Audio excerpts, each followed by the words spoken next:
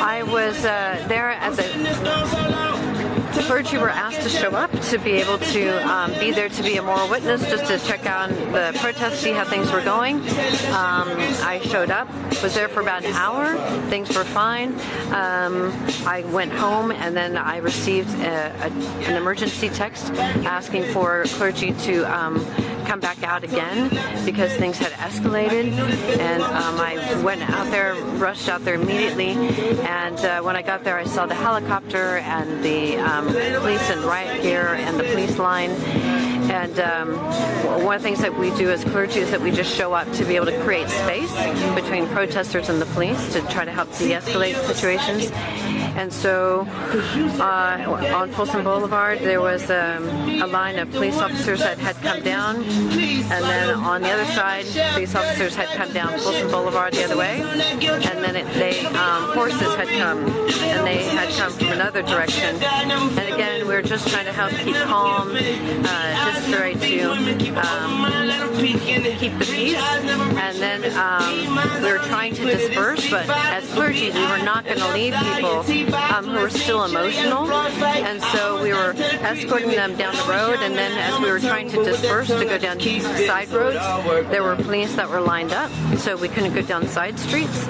And then they came in behind us, and then as we tried to cross over the overpass, uh, police officers immediately suddenly came out with their bikes, blocked us there, and then they came out from behind.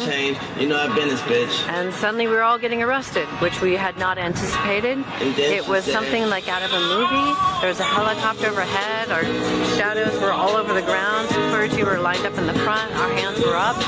Um, and um, we were just trying to help people to remain calm and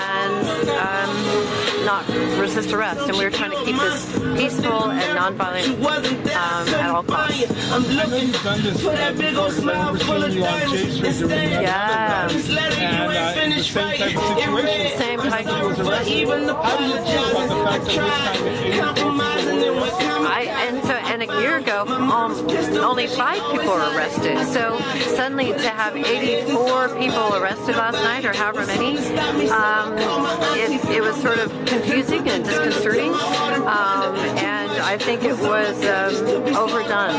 And um, it's unfortunate that um, we were trying to disperse, and I think it could have been handled much differently.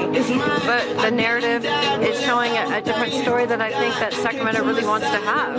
Um, that uh, it, we want to be a city that's known as unity and um, trying to come together rather than uh, dividing. And um, but that's where we're at. So we're just trying to, uh, as clergy, just trying to be bridge builders and peacekeepers, and um, to do our best to help see the humanity in everyone. Name? Pamela Anderson.